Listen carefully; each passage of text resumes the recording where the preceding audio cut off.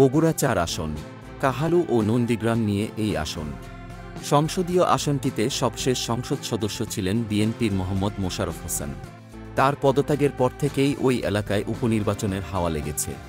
এই আসন থেকে জাতীয় পার্টির লানু প্রতীকে নির্বাচন করতে চান আশরাফুল আলম ওরফে হিরো আলম।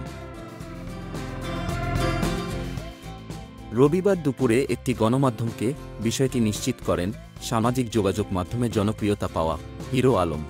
বলেন, তফসিল ঘোষণা হয়েছে। আমি আবার নির্বাচন করতে যাচ্ছি। যদি আমাকে লাঙর প্রতীক দেওয়া হয়, তাহলে লাঙর প্রতীকে নির্বাচন করব। আর যদি না দেওয়া হয়, তাহলে স্বতন্ত্র প্রার্থী হিসেবে নির্বাচন করার প্রস্তুতি নেব।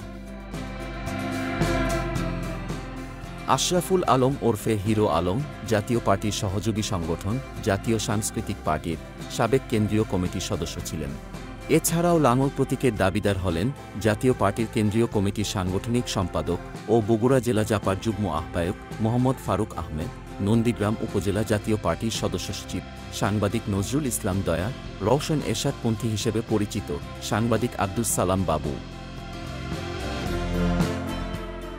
চারজনের মধ্যে হিরো আলম দুই হাজার আঠারো সালের ত্রিশে ডিসেম্বর একাদশ জাতীয় সংসদ নির্বাচনে অংশগ্রহণের জন্য জাতীয় পার্টি মনোনয়ন চান। তবে তিনি তা পাননি। পার্টির কেন্দ্রীয় দপ্তর থেকে মনোনয়নপত্র উত্তোলন করেও সিরিয়ালে দুই নম্বরে ছিলেন। স্বতন্ত্র প্রার্থী হিসেবে নির্বাচন কর্মকর্তার কাছে মনোনয়ন দাখিল করেও যাচাই বাছাইয়ে দুই দফায় মনোনয়ন বাতিল হয়। পরে হাইকোর্টে গিয়ে প্রার্থিতা ফিরে পান। ব্যাপক আলোচনা ও সমালোচনার মাঝেই একাদশ জাতীয় সংসদ নির্বাচনে অংশ নেন আলম। স্বতন্ত্র প্রার্থী হিসেবে সিংহ প্রতীকে নির্বাচনে অংশ নেন। তবে হেরে যান তিনি। একাদশ জাতীয় সংসদ নির্বাচনে ভোটকেন্দ্রে তার ওপর হামলা হয়েছিল উল্লেখ করে। এই আসনে উপনির্বাচন হলে আবারও প্রার্থী থাকবেন বলে জানিয়েছেন হিরো আলম। এবারও জাতীয় পার্টির লাঙুর প্রতীক চেয়ে দলের মনোনয়ন কিনবেন তিনি।